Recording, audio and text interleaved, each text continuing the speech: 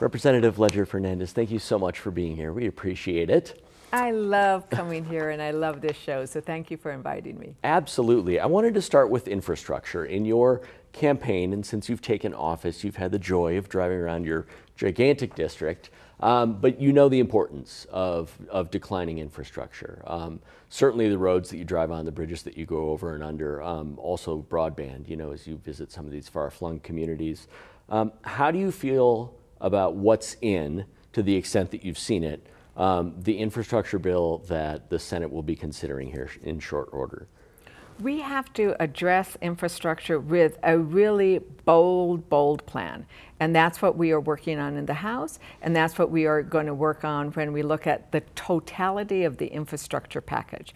So what the Senate is working on right now is going to be one aspect of how we address infrastructure. Let me talk about what we did in the House. So in the House, we passed the Invest in America Act.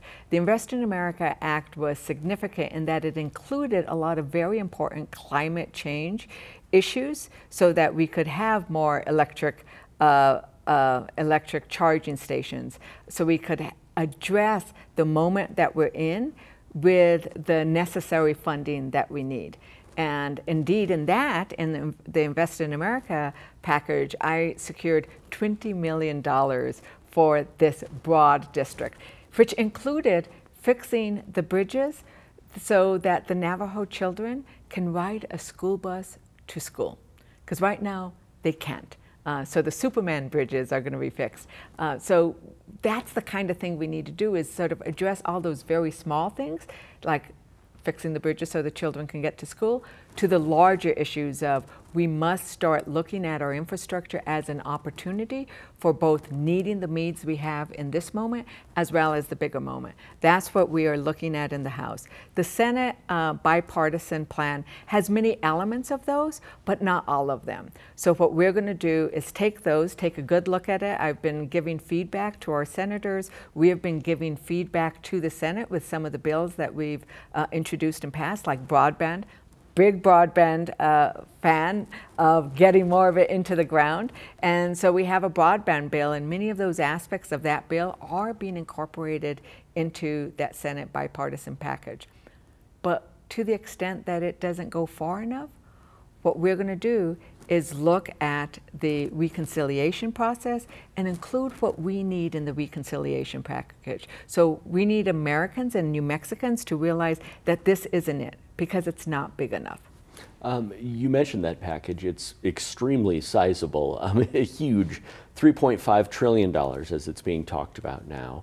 Um, and it would include that broader um, sort of definition of infrastructure, things like childcare, healthcare, that sort of thing. Um, it's hard to imagine that you can pay for that without raising taxes.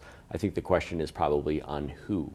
Um, as you look at funding something that size, how do you favor doing that?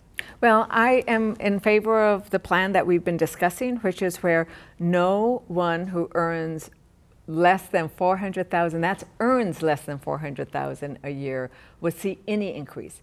And so what you'd see is New Mexicans the vast majority of New Mexicans would not see any increase. In fact, they would see a decrease in their taxes because we're going to make sure that we make permanent the child tax credit, the earned income tax credit.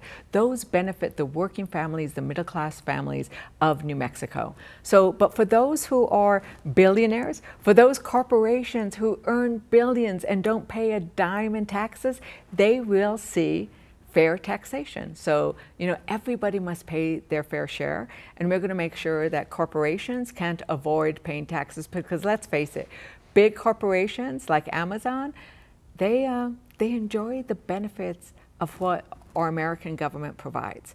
Uh, billionaires saw their income skyrocket during the pandemic. We need to have them pay their fair share. So that's how we're going to pay for that. Uh, the president has said that he's willing to use that reconciliation process also to address immigration, um, specifically DACA and um, dealing with the Dreamers as well. Um, immigration isn't typically thought of something that's a budget um, uh, related issue necessarily. How do you feel about that approach? It is absolutely the right approach. Listen, I worked uh, on the Immigration Reform and Control Act back uh, in my early days when I was still actually a law student. We did some amazing work around that. Uh, and that was a $1.4 trillion benefit to the economy. We are seeing the same thing when we look at doing immigration reform. It's about the same a $1.3 trillion benefit to our economy. $700 a year increase in everybody's wages. We would add six years to the solvency of Social Security. So to look at immigration as an economic benefit and that should be included in a reconciliation bill, which is looking at budget, is the right thing to do. So we know that immigration makes sense from an economic standpoint. Then you have to ask, well, then why do people oppose it? And it shouldn't be opposed on an economic stance it shouldn't be opposed on a humanitarian stance. I have been to the border. I have seen the children who the parents have sent to safety. And I need to tell you, it reminded me, it reminded me of a story that is old as the Bible itself. Moses' mother placed her baby in a basket and sent him down the Nile to get him to safety. We are looking at parents and at families that are fleeing violence and that are fearful for li their lives, and we must provide them with the asylum and the refuge that our laws provide. And if we don't politicize the issue, then we'd be able to just do that as a matter of course. If we didn't politicize the issue, then we would see the economic benefits of immigration and be able to pass it in regular order. But because we are not getting that support. Um, even among Republicans who want it are afraid to come out in favor of it, we'll have to do it through reconciliation. But it works because it's an economic benefit to the nation. Should the path to citizenship um, include preferred status for people who are already here? Um, and if so, uh, wouldn't the news that that is going to happen create a further rush to the border for people who want to get across before that law passes? So the the way the American Citizenship Act is, uh, is set up, it would not uh, would not create that rush to the border because it does have a deadline as to when you would be able to apply. And looking at the DACA, the, you know, our wonderful dreamers who are, you know, our doctors, our future doctors and Congress people. Raul Ruiz, Dr. Raul Ruiz was brought here as a child undocumented. He was a dreamer of the past, and he is now the chair of the Congressional Hispanic Caucus. So what we're doing is those people who've already been here, who were brought here as children, who have been working here, who've been providing the essential services for us, they're the ones that we are talking about. It's about 11 million people right now. Okay, okay. Um, ranch owners, county governments down south along the border, um, they're extremely worried about um, increased um, illegal border crossings. Uh, how would the plan, as you understand it, address some of those concerns about safety, both for the migrants and for the people who live on or near the border? Well, if we had an, uh, an immigration system that was working, then there would be a, a manner and a way for immigrants to present themselves and to go through an immigration system. We don't have that right now. Let's think of Ellis Island, right? There used to be a way where you wanted to come to the United States and you would be able to do it. Now that was when you were coming from Europe. Why don't we have the same thing when you're coming from the Americas, right? Uh, so we need to set that up so that there is a system and a process for presenting yourself um, for immigration, for asylum cases at the border. And if we did that, that would relieve some of the pressure of people trying to cross in very dangerous situations, uh, you know, in the desert, in places where there is not enough water, trying to scale a wall and, and dropping down. So what we need to do is create an immigration system where you can actually present and seek uh, the immigration status that you want at the border. Um, I do want to talk about COVID, but uh, I also don't want to let this pass. You said that you asked the question, why don't we have um, a system like Ellis Island for immigration from the Americas? Do you have an answer for that? Well, I think it's because it has been politicized and they have uh, sought to demonize an other uh, in order to get political gain. And they have sought to demonize Mexicans and Latinos. It's about bigotry, it's about racism. Okay. Um, the FDA right now, uh, as we speak, um, they're trying to balance this idea of solid science and uh, give the at least the perception that look this process wasn't rushed um, but they're also getting lots of pressure from employers from the federal government state governments uh, institutions like university of new mexico where we are now um, to get that approval that full approval of vaccines specifically the mrna ones um, how do you feel about the timing of that process and the effort um, to let people know, like, hey, we're not doing this just off the cuff. This right. is this is being studied. So I think it's important to remember that right now we have had millions of people vaccinated, both in the United States and around the world. Um, look at what's happening in Britain and Israel and uh, the EU countries. And so we have actually a lot of data that this works. Uh, it is right now a um, uh, not a full approval, but it is an approval that is demonstrating to the world that vaccination works, that it's safe, and that this is how we protect our community. This is how we protect those children who can't get vaccinated. This is how we protect immunocompromised people that might not be, get, be able to get vaccinated.